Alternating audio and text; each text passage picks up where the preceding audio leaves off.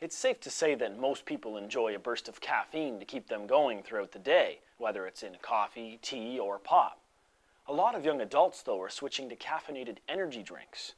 But studies have shown that caffeine overdose is becoming a problem, and the long-term health effects are unknown.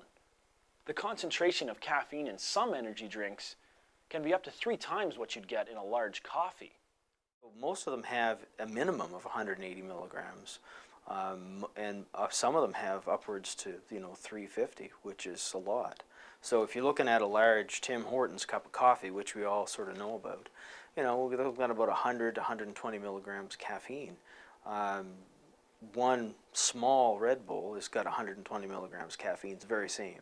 And so, but if you're drinking some of those double-sized ones, uh, which most people are, so there's a lot of in that market. Um, you're doubling that, you know. So it's kind of like two large coffees, and some individuals, you know, will have more than more than one of those in the run of a day, and maybe several.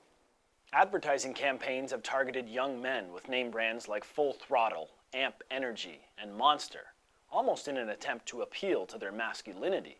Their logos are plastered all over extreme sporting events like mixed martial arts and ultimate fighting championships. These drinks can be beneficial in small amounts, but Dr. Young says they become problematic when people start substituting them for water or mixing them with drinks like alcohol. When it comes to mixing uh, a sports drink with alcohol, I mean, then you get the added benefit of the diuretic from alcohol alone, right? So then, not only does alcohol um, dehydrate your body, it also dehydrates your brain, and that's some of the, some of the effects of the alcohol come from that. Um, the the effect combined with another diuretic, you know, a caffeinated product of any kind, especially several caffeinated products at once um, can give you one it would make your hangover so to speak quite a bit worse than it would otherwise because that's usually on the basis of, uh, of, uh, of your dehydration. Um, and two it makes the effects of the alcohol probably somewhat intensified.